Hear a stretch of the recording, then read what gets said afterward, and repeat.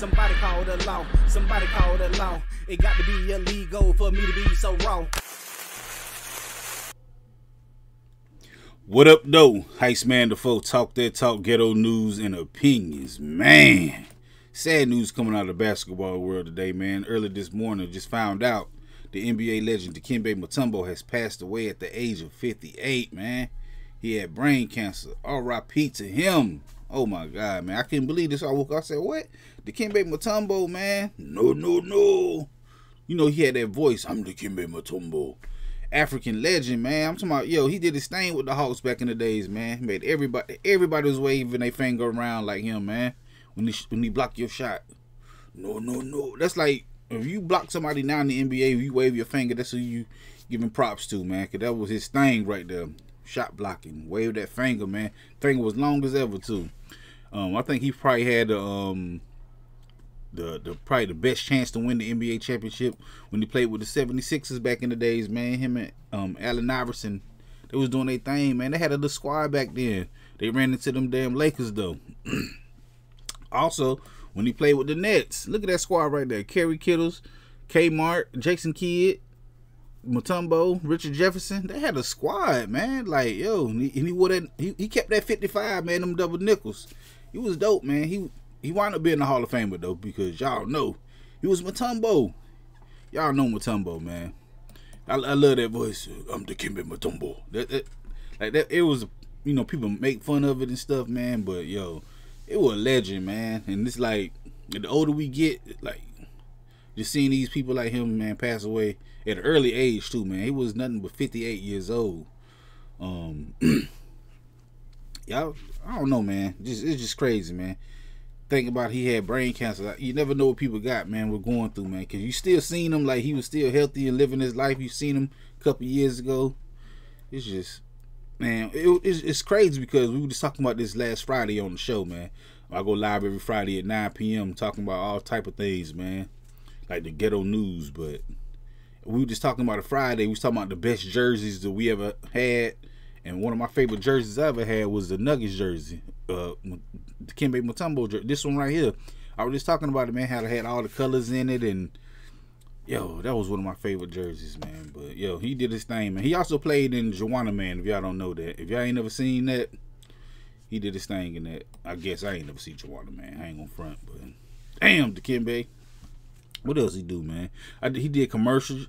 What was that? A Geico commercial when he's um the little boy was putting something in the um basket, he went over there and swatted it, pop, just knocked it out the way into my son. No, no, no.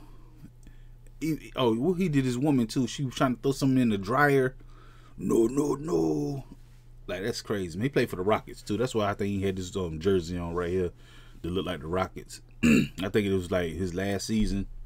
But man, Dikembe Mutombo.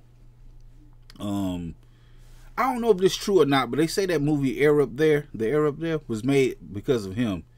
Um, the old Kevin Bacon movie. They say it's between him and Hakeem Olajuwon, but I don't know, man. It's, it's one of them Africans that came over here, man, and um, I think Dikembe Mutombo's from the Republic of Congo. The Congo. He had that voice, man. Yeah, man. That's a legend, man. R.I.P. Peter to Dikembe Mutombo, man. Look at him. He even got the finger up there right, right now, man. That was a legend, man. He was a beast. He was a legend. He was strong. He played a long time too, man, because like when he started playing for the teams like the Rockets and stuff, he was like, damn, he still playing. But he was still strong. He was in the paint hard, man. Like you, you could not mess around with Mutombo. He was known for blocking shots.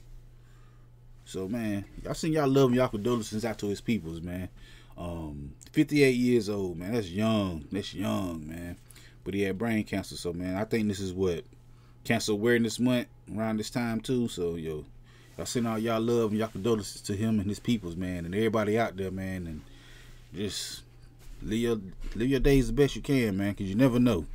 You wake up one morning, you might find out that Kimmy Mutombo has passed away, and that's what I did this morning. I like, damn, man, Mutombo. It's it's like pop culture, man, hearing his name still because we didn't got old and people didn't forgot about people like that, man. Him and Olajuwon, them Africans coming over here dominating, dominating, man, swatting everything, man. rebounds. R.I.P. Mutombo, man. I go live on the channel every Friday at 9 p.m. Come through, join the conversation, and holler at your boy. Heist Man the Foe. Talk that talk, ghetto news, and opinions. And like I said, hit that like button, the comment button, the share button, the subscribe button, notification bell. All them good buttons you got to hit to get this pimping that I'm putting out when I put it out. Like I said, I go live every Friday at 9 p.m. Come through, join the conversation, and holler at your boy. Heist Man the Foe. Talk that talk, ghetto news, and opinions, and R.I.P. to Kimbe Mutombo.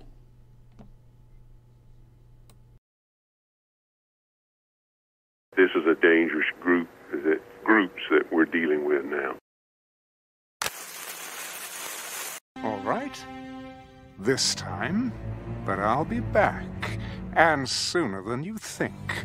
Wherever there's prejudice, ignorance, inequality, I'll be there.